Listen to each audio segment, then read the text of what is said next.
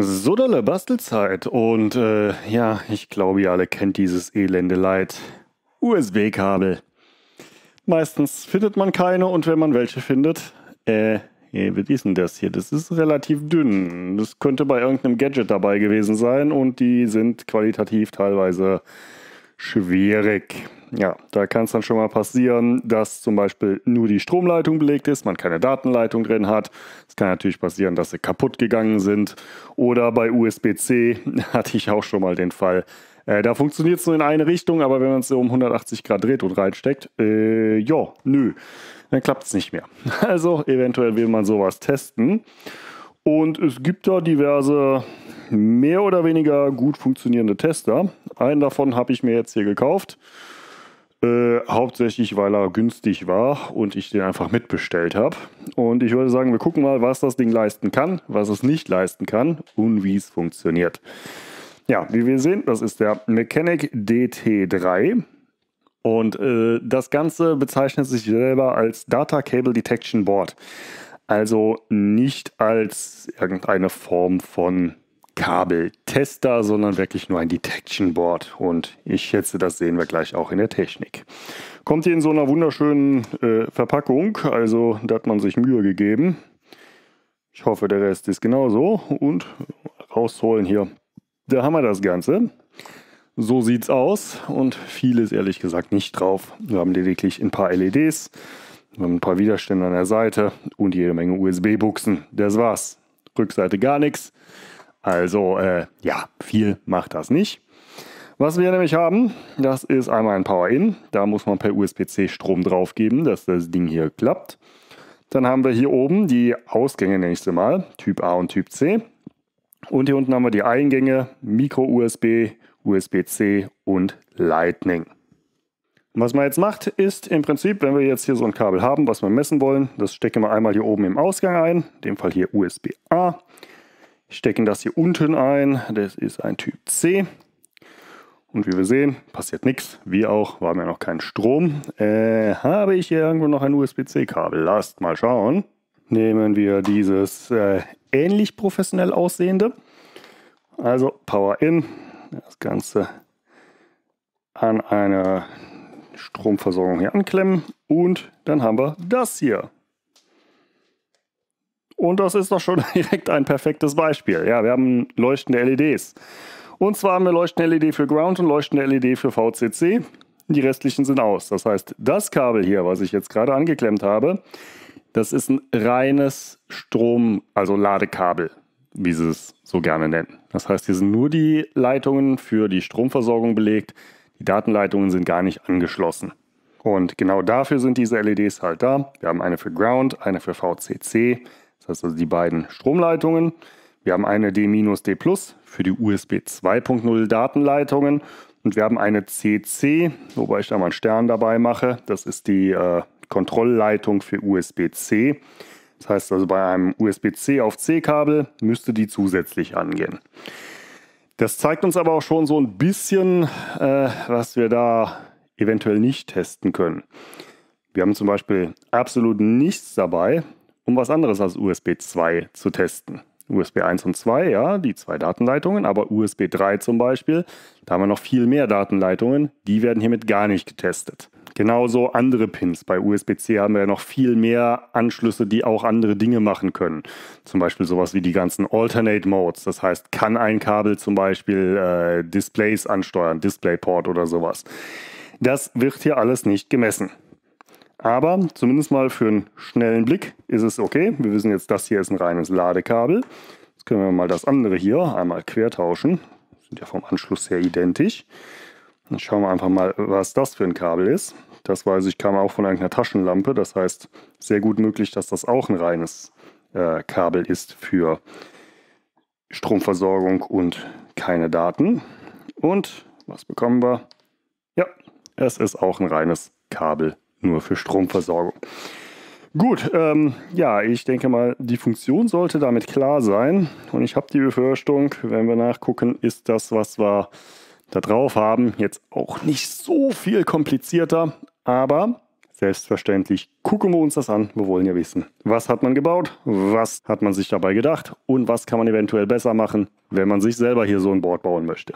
Heißt, ich lege mal meine ganzen Lade-Only-Kabel auf Seite und ersperre gerade unter mir sogar noch irgendein, was ist das, ein Micro-USB-Kabel. Dann können wir das mal dran machen, weil ich glaube, das hat tatsächlich Datenleitungen. Dann sehen wir die auch mal in Aktion. Aber wie schon gesagt, das hier ist technisch sehr einfach, nicht viel drin. Spiegelt sich halt auch im Preis wieder. Ich glaube, wenn ich richtig im Kopf habe, war das hier 2, 3 Euro oder sowas.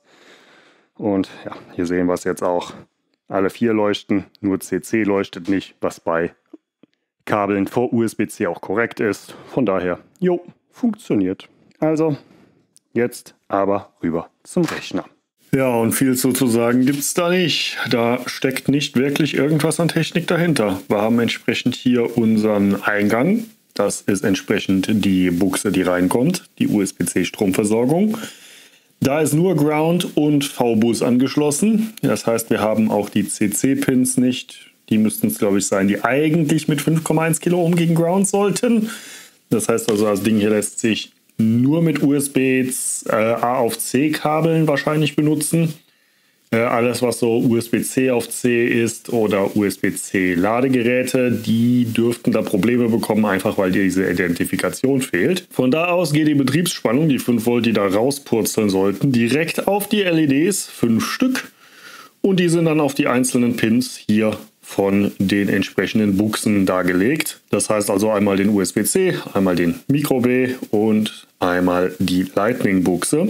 Die andere Seite, die kommt dann zurück. Entsprechend, wenn man das Kabel einsteckt, geht es auf die beiden Buchsen, USB-C oder USB-A. Und äh, ja, die gehen dann jeweils auch parallel geschaltet auf eine Batterie von Widerständen und die gehen gegen Ground. Das war's. Ich weiß gar nicht, wo ich anfangen soll, um zu erzählen, warum das keine gute Idee ist. Fangen wir erstmal damit an, was man erkennen kann, was nicht. Naja, man kann erkennen, dass alle Pins oder äh, alle Leitungen vermutlich Kontakt haben. Stern. Zum einen, man kann bei USB-C nur die USB 2-Leitungen testen. Das heißt, alles, was USB 3 ist, alles, was Alternate Modes ist, das ist schon mal außen vor. Geht nicht. Das zweite ist, naja, wenn irgendwo im Kabel ein Kurzschluss drin ist, ist ja weiterhin alles verbunden. Würde man nicht erkennen. Genauso, wenn der Kabelhersteller kreativ war und im Kabel irgendwie die Pins vertauscht wurden. Das heißt also zum Beispiel irgendwie, wir stecken ein und dann kommt hier ja VCC, die 5 Volt raus und auf der anderen Seite kommt es auf Ground zurück. Kein Problem, leuchtet weiterhin. Das heißt also, sehr viele von den Kabelfehlern selbst die einfachen können wir nicht erkennen. Und wir reden hier wirklich nur von der Wire Map, also dass äh, die Eingänge an der richtigen Stelle am Ausgang wieder zurückkommen. Da haben wir noch nicht von irgendwelchen komplexeren Themen geredet, wie Übersprechen, Dämpfung, was auch immer.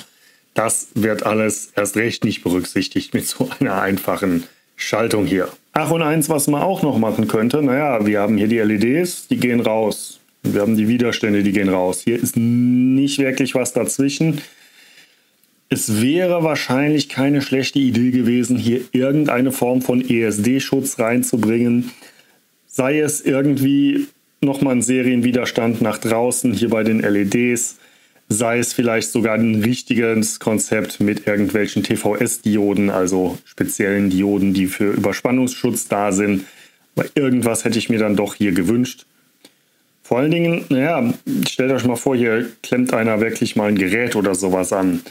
Dann haben wir plötzlich irgendwie hier eine direkte Verbindung Richtung Ground im Zweifelsfall und ah, ich könnte mir vorstellen, dass man dadurch falsches Einstecken alleine schon die LEDs hier grillen kann und das Ding dann kaputt ist. Also, wie könnte man das Ganze besser machen? Naja, das erste, was ich machen würde, ist einen Mikrocontroller hier reinmachen und dann die Pins hier nacheinander an- und ausschalten, sodass man da zumindest LEDs hat, die irgendwie hintereinander leuchten. Das heißt, man kann schon mal erkennen, wenn da etwas nicht in der richtigen Reihenfolge ist oder plötzlich mehrere bei einem Test leuchten. Das wäre schon mal relativ einfach und sind wir mal realistisch, ein Mikrocontroller kostet jetzt nicht so viel. Sicher, es ist teurer als ähm, hier ein paar LEDs und Widerstände, aber Ich würde mich so weit aus dem Fenster lehnen und sagen, dass ein Mikrocontroller in vielen Fällen ein einfacher günstiger ist als die Buchsen, die hier drauf sind.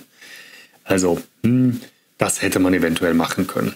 Und wenn wir einen Mikrocontroller haben und der genügend Pins hat, hey, klemmt doch die USB 3-Leitung von USB-C an.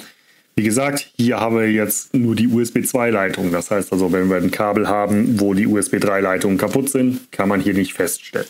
Wie gesagt, wir reden hier von Materialkosten von sehr wenig. Das ist im Vergleich zu dem Rest hier ein sehr überschaubarer Aufpreis, aber dafür schon mal ein gutes Schritt hoch, einfach weil man sehr viele Fehler in der Verkabelung auf jeden Fall erkennen kann. Wie gesagt, ein Profitester, der sieht natürlich komplett anders aus. Da haben wir dann, wie Sie gesagt, die ganzen Dämpfungsparameter und so weiter. Äh, das liegt dann aber im Zweifelsfall auch eher so im Bereich vom Kleinwagen. Also da kann man sehr teure Sachen mitmachen.